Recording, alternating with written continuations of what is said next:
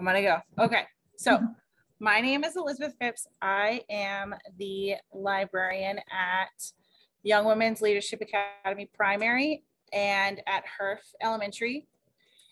And I wanted to talk about our research databases that we have in our ClassLink and how I use them. It says research tools for all ages, but I really want to show you how I use it with our littles, especially here at YLAP. They excel at um, using the using the databases even um, even when they're still learning how to read because there's a lot of access, accessibility tools in the databases. So I just wanted to talk about me for a second. Um, I have my undergraduate in history and my master's in library sciences. I have two kids and another on the way. I love researching and learning new things. When I taught, I taught fifth and sixth grade ELAR and social studies. And then I'm currently in the pair, a paired librarian at my two schools. Um, I love doing research. I was always in the library with, for my history major. And then moving on from there, going into my master's in library sciences, like um, research was just like my jam. And I remember my very first research project that I did in elementary school. It was um, over Dr. Pepper. And we had to do it out of books, which is totally not the norm now. Um, and I can't even think of like how they would look up a book in my library today on Dr. Pepper. So we have our databases and they could look up Dr. Pepper through that. And I even remember going when I was little and seeing the bridge and seeing everything around in Waco. So um, I'm going to show you the um, how I use databases and then um, I'm going to go over some ideas and then I want to hear y'all's ideas on how you use them because maybe you've used them in a different way. And my ideas are mostly for like mini, uh, mini research, which is simple, low prep, like the kids show up that day, they have a whole lesson and all you need is where most of the schools are one-to-one now. So all you need is their computer that day. So, and some paper to write on. So we are going to ClassLink and um, this should be a link right here, but if not, you can already have it open.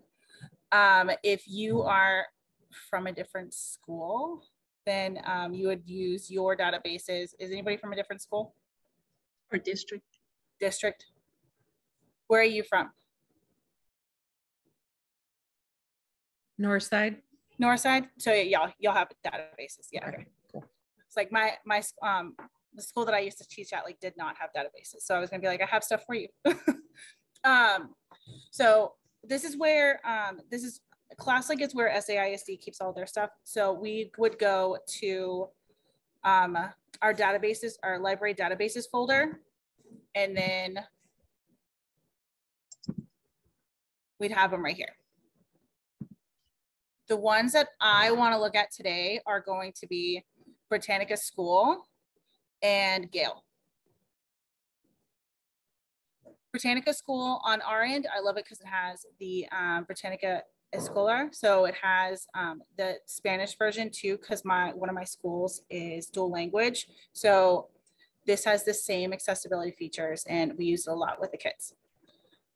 And then Gale has, um, once Gale, you go on to, um, we'll do this one first. You click on Gale and it divides it up by elementary, middle school, resources, middle and high school, and then you get into um, more higher academic.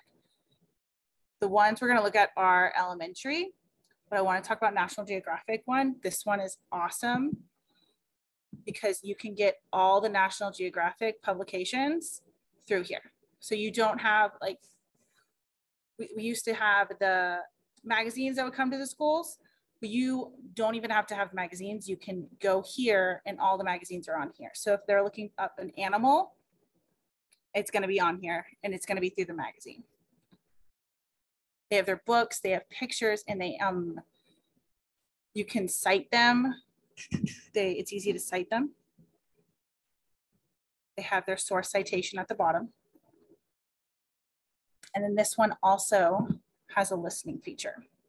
South American sea lion. A South American sea lion, Otaria byronia, swims among underwater plants off Isla de los Estados. In Rixala National Geographic Image Collection. South American sea lion. So in Gale, they have um, their accessibility feature is going to be how they can listen to it. They can change the my screen down a little bit.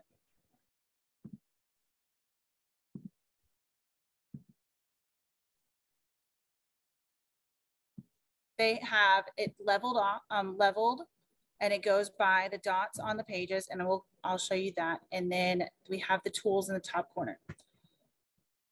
So I'm gonna go to. I'm gonna go back to our Gale homepage.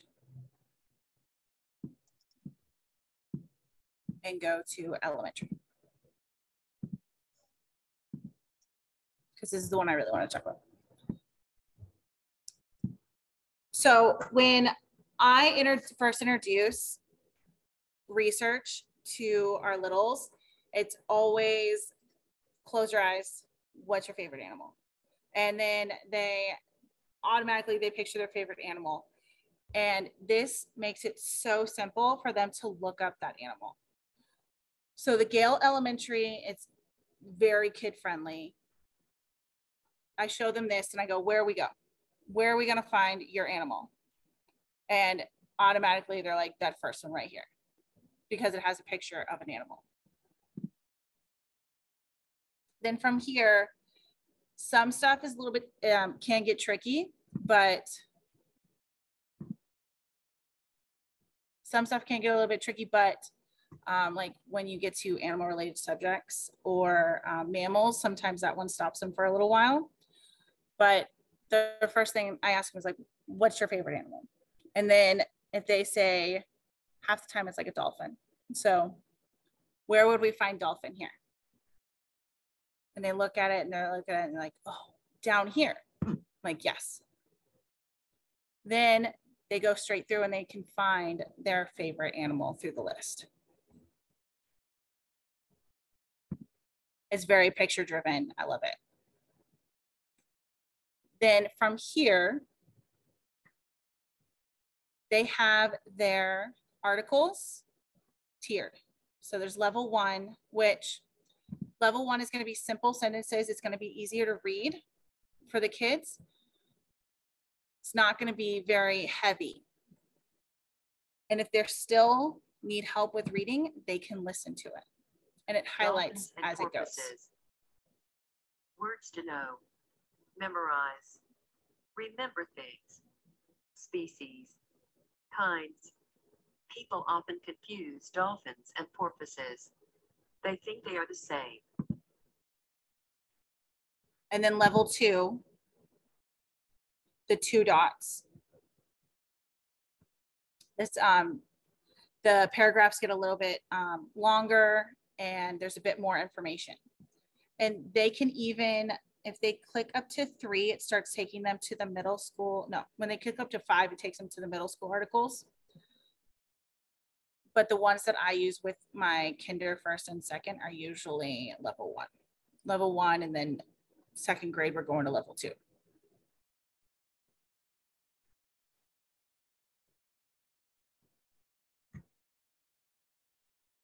Next.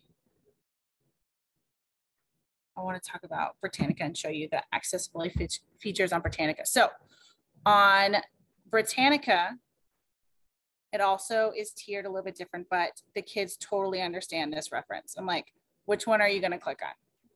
And they're like, the little one. I'm like, yep, you're going to click on the little one, elementary. And then this one, the interface is totally kid friendly too. And they've changed it up a little bit for summer. So like the kid, it's um, turned into almost like a site that they can go to to just explore on their own as well. Because these are, these at the top are new. for this one, I want to talk about same thing. It has pictures, but the words are a little bit the words with the pictures um make it a little bit diff- difficult if they're in kinder. So like insects and arthropods, they're they're gonna struggle with that one. Mollusks, they're gonna struggle with that one. I was trying to go through this as like with a pre-K kinder mind, and I was like, I got lost. um, this one I mostly use for when we do research. So because it's Young Women's Leadership Academy primary, every March we do, um, our big thing is going over influential women. And um, so we look up, I have pull every single book in my biography section and then um, we look up influential women. I write them on the board and they pick from that list. So I'm gonna type in Jane Goodall.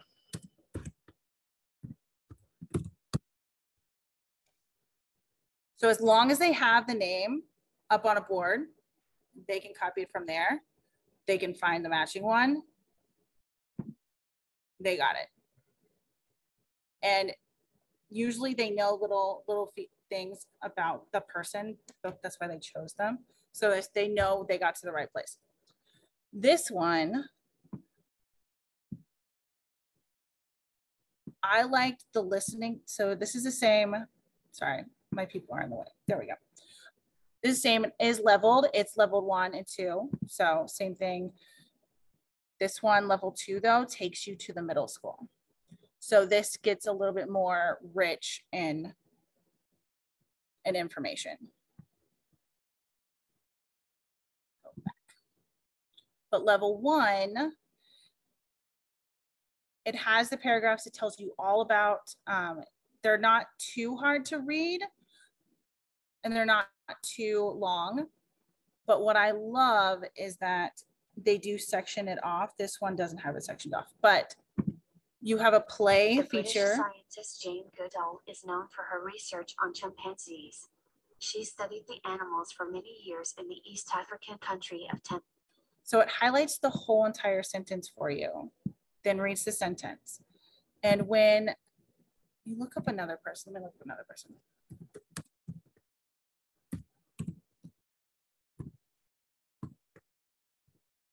You know, yep, I remember who it was.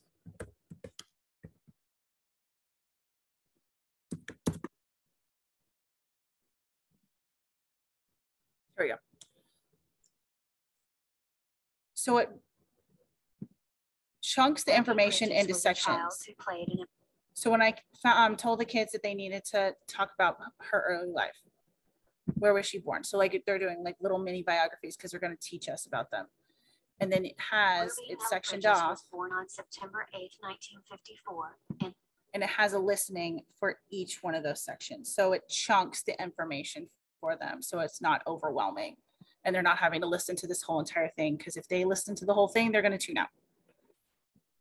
So this, I really like, um, really like this one. And this is when I had the kids choose, um, ch- choose between all of them, Ruby Bridges was the one that gave me the best information back about.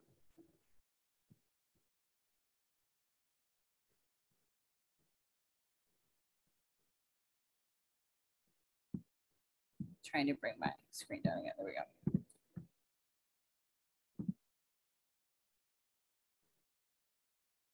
So that was the, um, those are the accessibility features that I really like using with my kinder and little, my little ones that struggle with reading. But I love both of those sites a whole lot, along with, um, when they get a little bit older, using the, um, using National Geographic, my favorite. I introduced it to the kids once and they, um, told them I was like, find something random, find something random on there. So they all went through and they, the one that they got stuck on was um, that they're that somewhere in Asia, they make crab ice cream and um, they, they, they couldn't get past it. So they all watched the video about crab ice cream.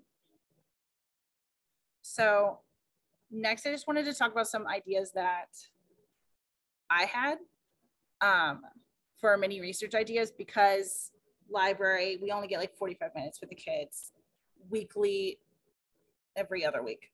Um, and So mini research is the best. And I used to do this with my, um, when I was teaching too, because getting all the kids day to day to think about, um, do a project over a long term with, um, when I was at my, um, my old school was, it was hit or miss. We weren't going to bring the materials every day. We weren't going to work on it. So mini research is where it's at. Um,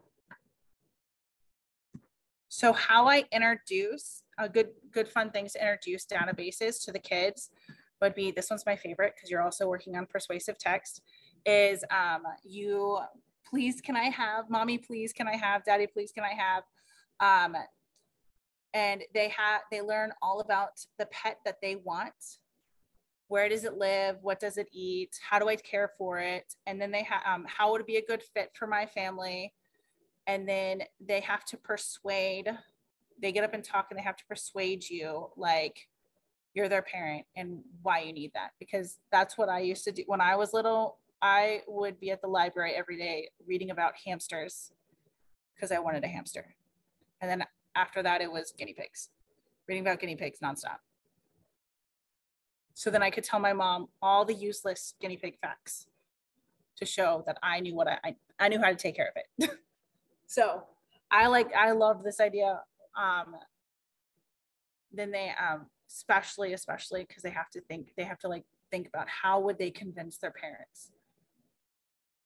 What are all the pieces that you need? This one, um, exactly how I do it here at YLab is, um, like I said earlier, close your eyes and picture your favorite animal.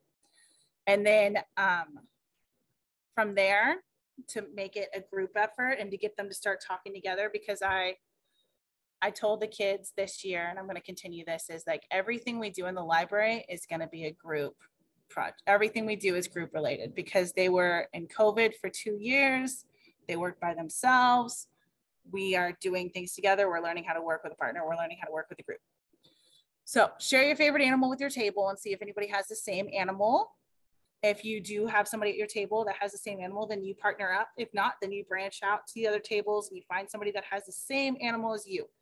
And then um, from there, they find a picture of their animal and they're going to cite it. And I love on Lumio the pictures that you use. If you guys can see this, picture that you use it cites them for you. So that was super awesome. So if you use Lumio, that is less work for your kids, but then they're still learning how to cite because you talk about how that um, how that picture is there. Um, and then you write down three facts that you learned about your animals. And that's super simple, quick, and easy. And then at the end, they teach the class about their animal.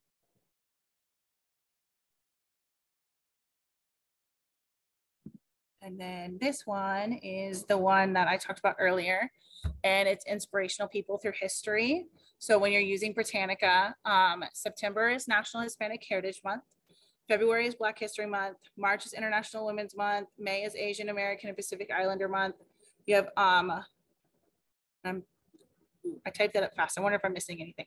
But there's all these months where you can look up influential people, learn about different cultures, and um, and the kids will get in small groups, one to two, they and then have a list of names on the board, or they if they already know of one, they could totally use that one instead. Um, and then they their groups look up information about their person. And here we use the two column Avid Cornell notes. So they're using that all throughout from like kindergarten up. So by the time that I walk into the second grade class, like they're using them flawlessly and it's beautiful. Um, so they they take notes on the Avid Cornell notes, and then at the end they teach us about their person. Sorry, I'm sweating. It's hot in here. They turn the AC off.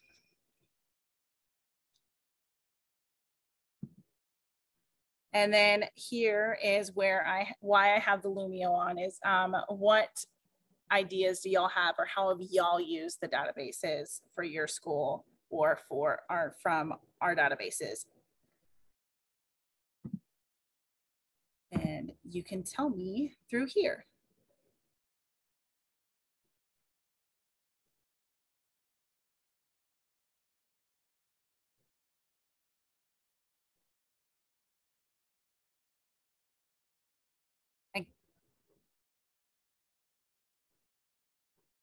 So when you're using this, you type into the box and then you hit um, the blue. And I think I gave you five responses if you really want to give me five responses.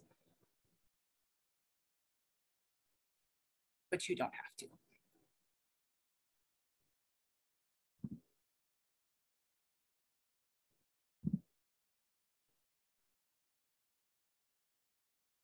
Or if you want to share it out, that's cool too. Because I don't like being the only person talking.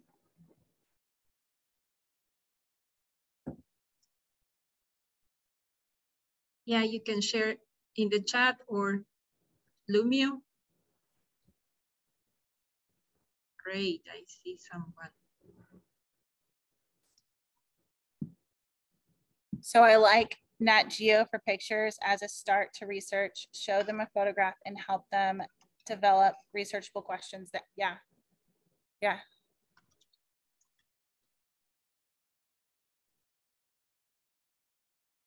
I have the kids research animals, but they don't use these sites. They are much better with the immersive reader. I can't get it to load, but we use Pebble Go to do like informational text. Pebble Go. Uh-huh. I've And then we used it to do a little video at the end with slides in Flipgrid. Oh yeah. So there was um at our training uh right before our summer break, our short summer break last year. Um they showed us how the kids used Chatterpix and they did research on their animal and then they spoke as their animal and um and then presented it that way. And it was so cool. to research about countries. Yes, yes. I loved researching about other countries and then um, bringing food in. They when you were younger and they used to let you bring food in.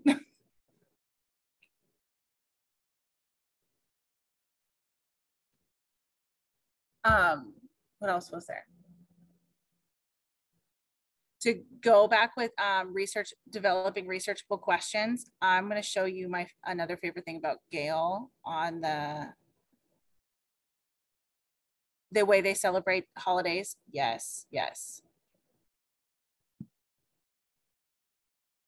On Gale, they have already made research, researchable questions, and I'm trying to develop a lesson on how to use that. Like I've made everything for it. I just like logistically can't figure out how to put how to get the kids to do it. I think Lumio might be easier to use. I was trying to use a Jamboard and it wasn't working.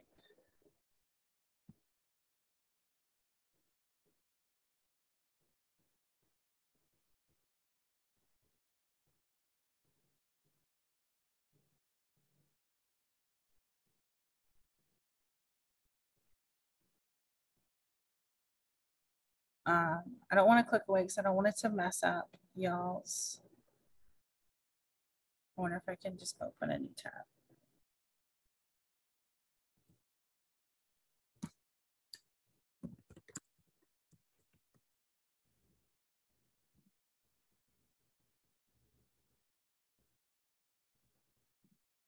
So on Gale,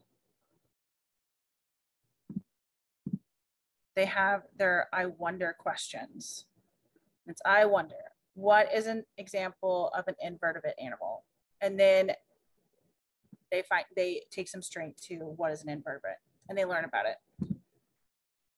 But the way that I was going to do it was I was going to have them click until they found something that they really wanted to learn about. And then from there, we'd share our favorite questions and what we learned about it. So that's how I've been wanting to use the I wonder for a lesson with the kids.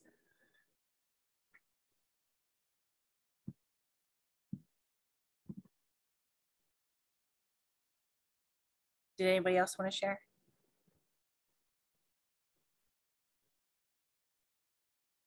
Or is anybody typing?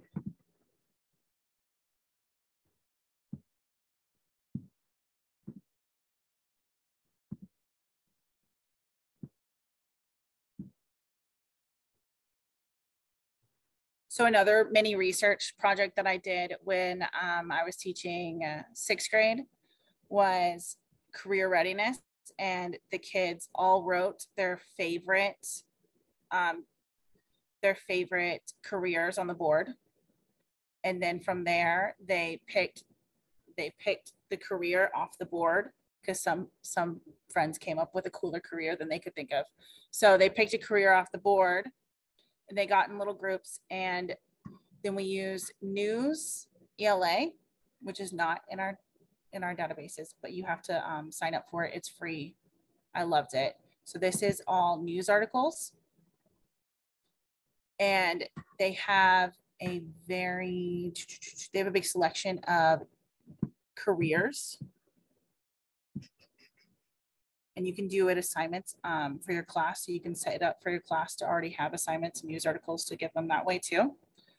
But i use this in my ela art class a lot with my older kids with my fifth and sixth graders. Browse search let's do this.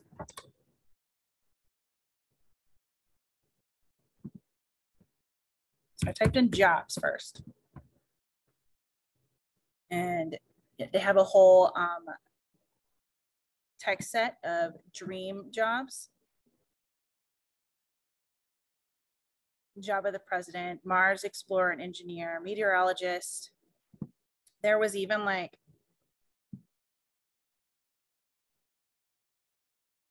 So like these probably aren't ones that kids would come up with like right away but even had the ones that the kids loved. So like YouTuber was a big one I got when I was teaching. I want to be a YouTuber. Like, okay, so let's learn about it. And then afterwards they'd be like, no, I don't want to do that.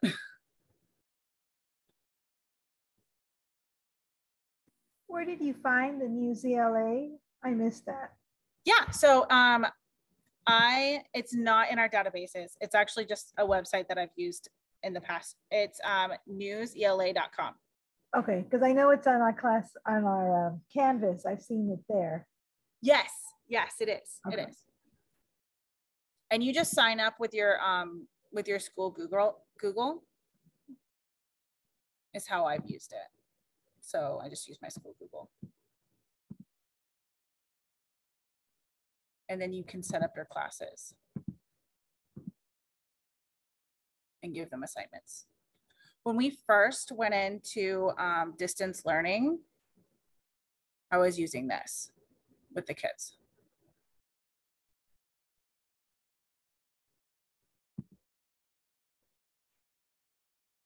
But their text sets were the ones that I really liked.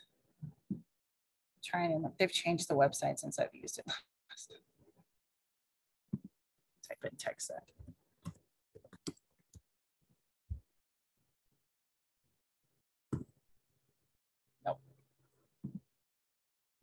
But yeah, so that's how I've used that one in the past.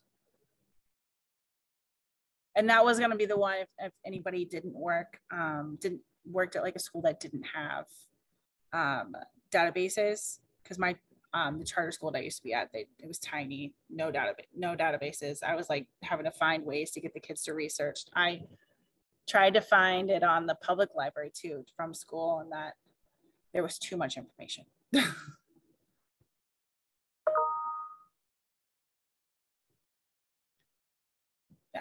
here. Okay. Okay, so that is about what I had. Um, short and sweet. You're a little early to be done. Um, but I hope you learned something new. And I really, um, I can't, I will have every, and if you come up with any ideas, like totally share them. Um, my share them with everybody around you because I love I love sharing ideas. Um, I was gonna say you could share them with me, but I didn't put my email up there. It's ephipps1 at saisd.net. Um, and if I love coming up with new ideas, so if you ever want an idea, I love brainstorming and figuring things out. So if you ever need help, just let me know. Perhaps you can add your email in the chat. Yeah. Yeah. I love how you use your, how you did your, your presentation in Lumio. So the entire thing flows in Lumio. where you can use all the tools on the site. Yeah, yeah. I've been um my favorite part about Lumio is that the kids can upload with pictures. So we did dot day and they found dots. They found anything um circle related in the library. Um, we did an egg hunt with Lumio where they had to go around and um, take pictures and whoever found the most eggs, they got a prize, but really everybody got a prize. So Cool. And you can access all those uh, research uh, tools in both Chromebooks and iPads, right? Yes, yeah, because it's in our um it's in our ClassLink. So um all of them, I've had them all work on the on the iPads and on on the Chromebooks. Here at at YLAB, they only our third graders have the Chromebooks. Mm-hmm. So everybody else is on iPad. Cool. Very nice. But that's it. You um as soon as they fill out the sign-in sheet, y'all are good to go if you are ready.